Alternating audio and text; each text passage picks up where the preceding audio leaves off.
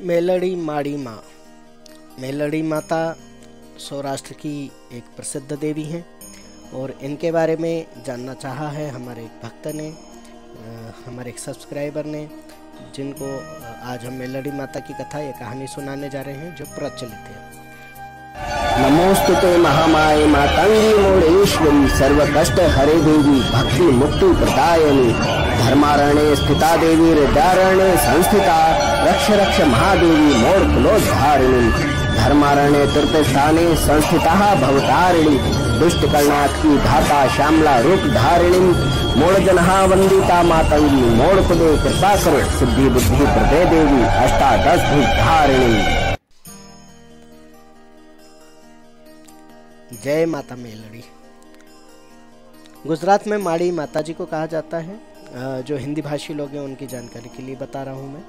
और माता को माड़ी बोलते हैं इसलिए मेलड़ी माड़ी उन्हें कहा जाता है। माड़ी मेलड़ी या मा, मेलड़ी माड़ी। जो भी बोलने में आपको सहज सरल लगे। उस तरीके से आप माता मेलड़ी भी बोल सकते हैं। जब आप जानते हैं कि देवी के अवतार जब जब भी हुए हैं चाहे जहाँ जिस भी क्षेत्र में हुए जिस भी स्वरूप में हुए रूप में हुए हैं निरंतर अवतार होते रहे हैं देवी के। और कई प्रचलित देवियाँ हैं, उनमें से एक है मेलड़ी माता। इन्होंने भी एक असुर का संहार किया था। उस असुर का नाम था अमरुवा। अमरुवा जो दैत्य था, ये इसको भी बताया गया कि काफ़ी बलशाली था और काफ़ी देवी देवताओं के इसने छक्के छोड़ा दिए थे और उनको स्वर्ग से उतरने पर विवश कर दिया था। सभी देवता युद्ध में परास्त होने लगे।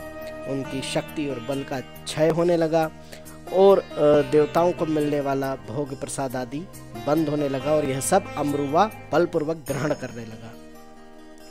सभी देव क्रोधित हुए और अपनी अपनी शक्तियों से उसके ऊपर प्रहार किया, परंतु वे उसके प्रहार को अमरुवा जो है नष्ट कर देता था। सभी देवताओं का प्रहार जो था, व्यर्थ जा रहा था। सभी पुनः से देवी शक्ति की शरण में गए। आराधना की, पूजा अर्चना की और पुनः से देवी ने कहा कि देवताओं को उनकी अपनी गलती भी उन्होंने बताई कि आप अपने तप और बल का जो है संचय नहीं करते, उनका नाश कर देते, उनका नष्ट कर देते थोड़ी सी सिद्धि के अहंकार में आकर के उसका नष्ट कर देते हैं और उसका खर्च कर देते हैं, यानी कि जहाँ ज़रूरत होती है उससे ज़्यादा आप दिखावे में उसको व्यर्थ गंवा देते हैं। सभी भक्तों को, नए लोगों को, नए साधकों को इस बात से शिक्षा भी लेना चाहिए कि हमें थोड़ा सा भी अगर हम कुछ करते हैं तो उसको उछल उछल कर इधर उधर बखान नहीं करना चाहिए और उसको सहेज कर हमारे अंदर ही हमें ऊर्जा को संचित रखना चाहिए, उसका भंडारण करना चाहिए। अन्यथा हम पर दुष्ट शक्तियाँ हावी होने लगती हैं। यही देवताओं के साथ हो रहा था। देवी ने उन सभी को डांटा डपटा और स्वयं युद्ध के लिए मैदान में चल पड़ी। देवी ने भेष बदला, रूप बदला, साधारण स्त्री कन्या का रूप धारण किया और अमरुवा के ऊपर प्रहार किया। अमरुवा जब देवी से परास्त होने लगा, तब उसके समझ में आ गया कि एक ही तो स्त्री है जो बार बार सभी दुष्टों का नाश करती है। मेरे पुराने असुर लोगों का नाश किया है। असुर कुल का नाश करने के लिए देवी स्वयं आती है। ये कोई साधारण स्त्री नहीं जब वो समझ गया तो उसको एक बात और समझ में आई कि जितने भी देवी देवता हैं ये शुद्ध जगहों पर तो आसानी से चले जाते हैं। मुझे किसी अशुद्ध जगह का चुनाव करना हुआ। जब वो वहाँ से भागा और भाग करके उसने देखा कि रास्ते में एक मरी हुई गाय पड़ी है तो वह उसके शरीर में जा कर के घुस गया। अब देवी देवताओं को तो जैसे ही पता चला कि ये शरीर में घुस गया है, गौ माता का तो बड़ा आदर करते हैं। गौ माता के मृत शरीर को कैसे जा कर के छुएँ? उसके अंदर यानी कि इसको मारना अर्थात कि गौ माता के शरीर को छिन्न भिन्न करना और फिर इसको बाहर निकालना फिर मारना तो गाय माता तो गाय माता है ज़िंदा का सम्मान है तो मरी हुई गाय माता का भी सम्मान है। उन्होंने कहा इस गाय माता का तो क्रियाक्रम कर, करना चाहिए उनका अस्त व्यस्त शरीर हम नहीं कर सकते हम उस शरीर की मृत गाय के देह का हम अपमान नहीं कर सकते तो हम इसको कैसे वहाँ से निकालें? क्रोध में भर गए देवता और देवी के आगे स्तुति गान करने लगे, तब देवी ने भी सोचा कि अब कुछ और लीला ही करना पड़ेगी। देवी ने क्रोध में हाथों को मसला और उनके हाथ से मेल जब निकलने लगा, तब जिस प्रकार उनके मेल से गणपति की रचना हुई थी, उसी प्रकार माता मेलड़ी की रचना देवी ने की। तब देवी उमा रूप से वहाँ उपस्थित हुई, तब उनको उमिया माता कहा गया। और उमिया माता के मेल, हाथ के मेल से इनका जन्म हुआ है। मेलड़ी माता का एक छोटी सी कन्या के रूप में उत्पन्न हुई। और जब ये उत्पन्न हुई तो उन्होंने कहा, कही ये माता, आपने मुझे क्यों उत्पन्न किया है? किस कारण से उत्पन्न किया है? और ये सभी देवता लोग इस प्रकार से क्यों विचलित और क्रोधित हैं? ये सब यहाँ इस प्रकार से क्यों एकत्र हुए हैं? इसका कारण मुझे बताइए। तब देवी ने कहा कि मैं तुम्हें अपनी समस्त शक्तियों से संपन्न करती हूँ और उन सब शक्तियों के सहित मैंने तुम्हारा निर्माण किया है। क्योंकि तुम्हारा निर्माण मेल से हुआ है, अर्थात तुम मेली हो, मेली माता हो, तुम इस मृत गाय के शरीर में जाकर उस दानव को बाहर निकालो जिसका मैं संहार करना चाहती हूँ। तुम उसको संहार करो, उसको बलपूर्वक खींच करके लाओ, या तो मेरे समक्ष उसे प्रस्तुत करो तो उसका संहार मैं स्वयं करूँ। तब उस कन्या ने कहा, जैसी आपकी आज्ञा माता, तब वे तुरंत ही उस गाय के शरीर में प्रवेश करती हैं और अमरुवा नामक दैत्य को बाहर निकालती हैं। मृत गाय के शरीर से जैसे ही अमरुवा बाहर आया तो वो गिड़गड़ाने, मिमियाने लगा, परंतु देवी ने उस पर कोई दया नहीं दिखाई। तब उस कन्या के हाथों ही उस अमरुवा का वध हुआ और इस प्रकार से सभी देवताओं ने राहत की सांस ली और देवी मेलड़ी माता की जय जयकार की और उनका चरण वंदना, स्तुति गान आदि किया। इस प्रकार से देवी मेलड़ी माता का देवी के हाथों के मेल से जन्म होना बताया गया और उनका प्रादुर्भाव हुआ। अब देवी ने जब कहा कि अब मेरा कार्य क्या समाप्त हो गया है माता, आपने मुझे जन्म दिया है, आपने मुझे इस प्रकार उत्पन्न किया है तो क्या आप मुझे अब नष्ट कर देंगी? तब देवी ने कहा, नहीं कलयुग में इस तरह के और भी दानव होंगे, जो सभी नियम आदि का तिलांजलि दे करके कई प्रकार से भक्तों को कष्ट प्रदान करेंगे तो उन सभी से तुम्हें जन कल्याण करना है, जनता की रक्षा करनी है। और अब तुम्हें यहाँ निवास करना है।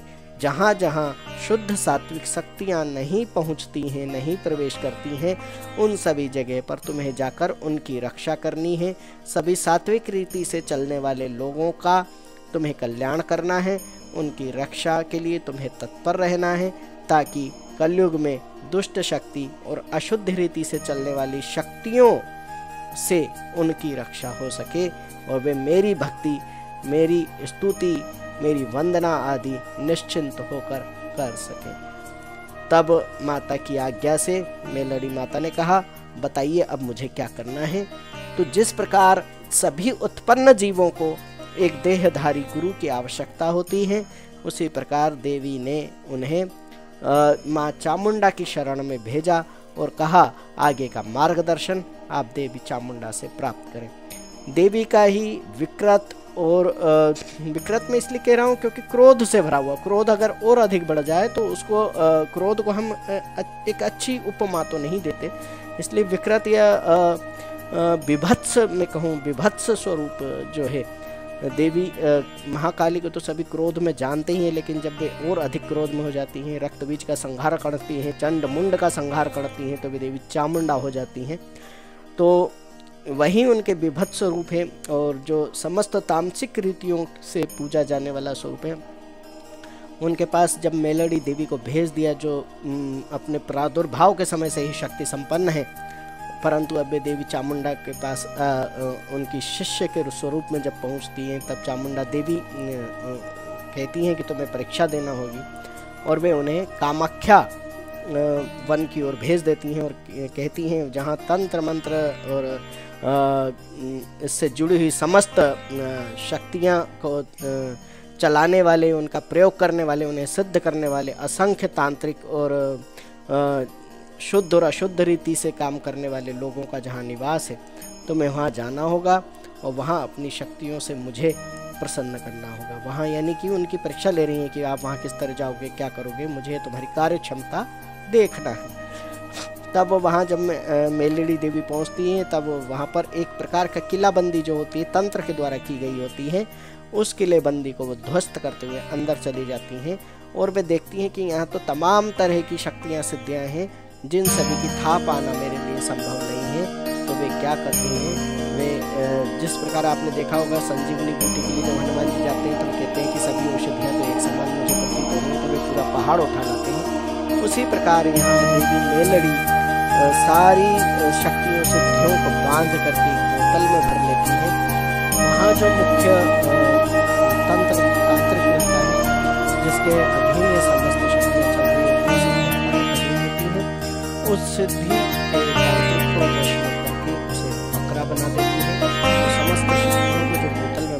उसे हाथ में लेकर के, बकरे के ऊपर बैठ करके, वे देवी चामुंडा के चरणों में ला करके समर्पित कर देती हैं। और तब देवी चामुंडा उन्हें शिष्य के रूप में स्वीकार कर लेती हैं और उन्हें संपूर्ण शक्ति सिद्धियों से संपन्न कर उनको जो है सौराष्ट्र क्षेत्र में सदा सदा के लिए निवास करने हेतु कह देती हैं। और आज वर्तमान में सोशल मीडिया और यूट्यूब और तमाम जो भी एक दूसरे से जुड़ने के अवसर हमें प्राप्त होते हैं। सभी प्रचलित देवियों के किस्से, कहानी, कथाएँ एक दूसरे क्षेत्र की ओर अग्रसर हो रही हैं और सभी शक्तियों का प्रचार प्रसार एक क्षेत्र से बढ़कर अन्य क्षेत्रों में हो रहा है। पहले भी होता था परंतु उतना अधिक नहीं होता था वे एक क्षेत्रीय देवियों के रूप में ही पूजी जा रही थी, परंतु अब उनका विस्तार बहुत अधिक होता जा रहा है। एक क्षेत्र से निकलकर वे अनेक क्षेत्रों तक पहुँचती जा रही हैं। मूल सार यही है कि मेलड़ी माता का भी आप सात्विक रीति से पूजन कर सकते हैं, मना सकते हैं और सात्विक लोगों की रक्षा के लिए ही इस प्रकार की तामसिक देवी की या तामसिक जगहों पर, अशुद्ध जगहों पर जा सकने वाली देवी की रचना या निर्माण किया गया था, जिससे कि या उनको ऐसा कहें कि शिक्षित किया गया था कि जिससे कि वे हर जगह जाने में सामर्थ्यवान हों, हर जगह जा सके और सात्विक रीति से चलने वाले लोग जो हर जगह नहीं जा सकते जिनकी सिद्धियों तक का प्रवेश हर जगह नहीं हो सकता वहाँ वे माता मेलड़ी की कृपा आराधना स्तुति भक्ति से अपने आप को हर क्षेत्र में हर जगह पर सुरक्षित रख सकें और अपने कार्यों को आगे बढ़ा सकें। इनकी दे, देवी की स्तुति पूजा पाठ आदि सामग्री चालीसा आरती पूजन कीर्तन सभी आपको इंटरनेट पर मिल जाएगा। आप यूट्यूब पे भी सर्च कर सकते हैं। आ, कई आ, लोगों ने इनके वीडियो डाल रखे होंगे जो आपको मिल सकते हैं। परंतु मुझसे जो पूछा गया था कि आ, माता मेलड़ी के बारे में आप जानकारी दीजिए सो मैंने जानकारी आपको दी है कि माता मेलड़ी कौन है किस क्षेत्र की हैं और वे क्या कार्य करती हैं किन लोगों के लिए कार्य करती हैं और उनका कार्य करने का तरीका क्या है। तो सौराष्ट्र में ही आप पाएँगे कि माता मातंगी मोड़ेश्वरी भी वही हैं और माता बहुचरा भी वही हैं और ये सभी शक्तियों के ही प्रादुर्भाव से उत्पन्न हुई हैं। जय मोड़ेश्वरी बोल, बम। ॐ मणिक्यमणामप्लाल्यन्तीं मदाल्शां मञ्जुलवाग्विलासां महेन्द्रनीलं द्योतिकोमलाङ्गी मतं कन्या मनसा स्मरामि।